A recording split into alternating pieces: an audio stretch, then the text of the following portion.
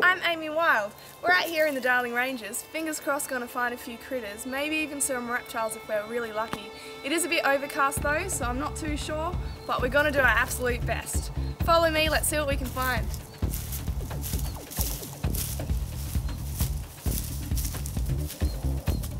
Unfortunately, when you do want to find something, you're gonna have to spend a bit of time to do it. You're gonna look under a bunch of logs, a bunch of rocks, before anything turns up.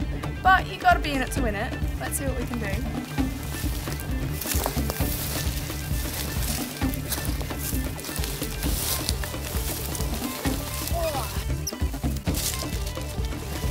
Oh wow! Whoa! Okay. Can you see this? Wow, so this is a type of Urodacus, or Urodacid, a kind of scorpion. Check out this massive stinger. Wow. Come on, little one. Whoa, what a fatty. Now the cool thing is, this guy might look absolutely fearsome, but she's actually a big teddy bear compared to her cousin, the Buthids. Now they're much smaller scorpions. They've got a big stinger proportionate to their body and tiny little claws. So what the Urodacus does she uses her massive claws here to pin down prey and hold onto it while she can sting it numerous times. The Buthids, however, don't have very strong claws, but with their massive stinger and powerful venom, they only need to get one little jab in to finish the job and have their dinner served up. So I would rather get stung by this one than a much smaller Buthid any day. Beautiful Urodacus, look at her. And she's got absolutely no interest in stinging me. She's cold, I've just picked her up from under a log, and she just wants to go back to her little hole, doesn't she? Wow, alright then, back you go little one. Back you go. Oh, beautiful. Look at that. Back to sleep. Night, night.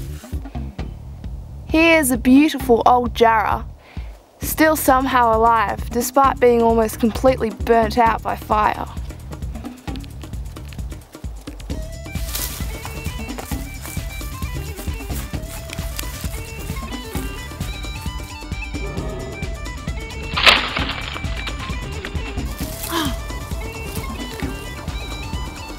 Here we go. Guys, I found a western earless skink, Hemiergis initialis. Have a look at this guy. So this beautiful western earless skink is actually a type of burrowing skink. Can you see his long body and tiny legs? This is a perfect example of almost reverse evolution.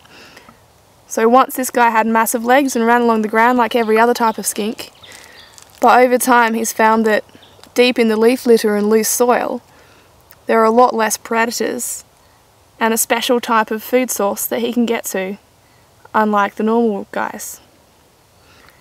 So unfortunately this is one of the things that gets confused by lots of people with baby snakes. You can see he does have tiny little legs. He actually has five tiny toes on each hand and foot. And when you are identifying these sorts of burrowing skinks, counting the toes is actually one of the first things that you do to try to ID him. Now something else that you might not be expecting is his beautiful yellow belly. Can you see that? Wow. Absolutely gorgeous little guy. Alright, all done for the day. I hope you enjoyed that. We saw that wonderful little earless skink and the massive scorpion. Thanks for watching. I'm Amy Wild and I'll see you next time.